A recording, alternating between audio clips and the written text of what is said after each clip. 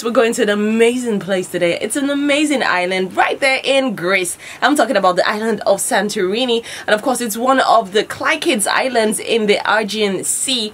And of course, it was devastated by a volcanic eruption uh, in the 16th century BC.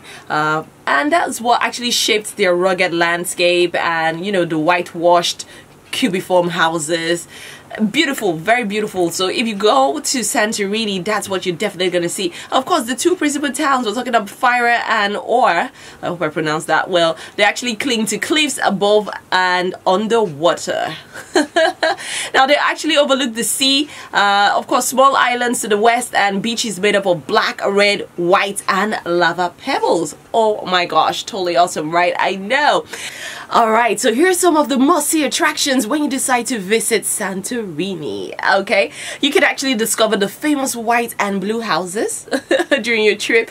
Uh, you know, wander into the picture narrow alleys, enjoy chic boutique, you know, luxury hotels with infinity pools, oh, which is what I love so much. Visit the Archaeological Museum. It's a collection of remains from all the Santorinis, uh, including verses from Akrotiri.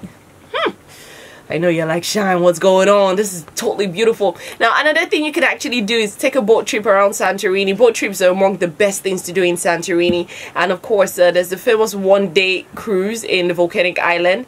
And... Um, you need to try that one most definitely you need to all right so yeah so here's some amazing uh, things you can actually also do at, uh, which is recommended anyway uh, jet skiing parasailing you know, scuba diving, helicopter tours, snorkeling, and of course a sea kayak. Uh, totally awesome. So scuba diving, jet skiing, sailing, parasailing, flyboard, hoverboard, and of course stand-up paddle. I know, right? A lot of people are like, why should I stand up to paddle? I could just sit down to paddle. But I'm, I'm telling you, it's actually so much fun.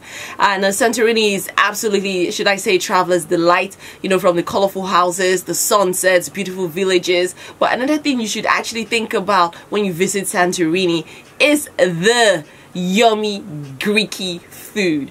I'm going to be telling you more about amazing foods that you should totally try. I'm going to mention them like the fava mi kwaika.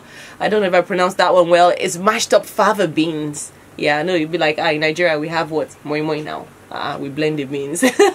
then tomato gaffitas, which is tomato fritters. And of course, um, saganaki, it's fried cheese in phyllo pastry covered in honey really yummy. And of course greek salad which a lot of people actually eat. That's the one that oh hey, let me have some greek salad which you know they sell in almost every restaurant even right here in nigeria you can actually get it. But to get a proper greek salad you need a proper greek chef. Of course there's a kofta. It's called uh, it's it's made of ground meat. It's kind of like sausages. And of course enjoy yourself some greek wine.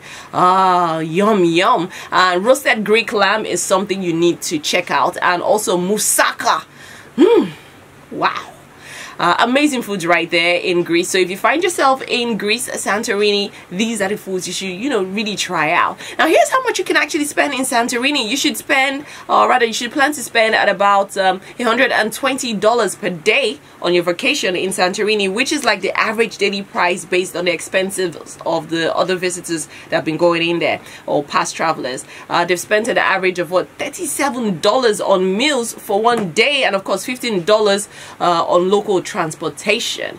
Uh, how much you can spend for the, your hotel uh, in Naira, okay, I'm, I'm going to talk in Naira now, not in dollars. You can spend a minimum of 10,000 Naira and you can spend a maximum of 230,000 Naira per night okay so you can actually do the one that your uh, you know your pocket can actually carry you.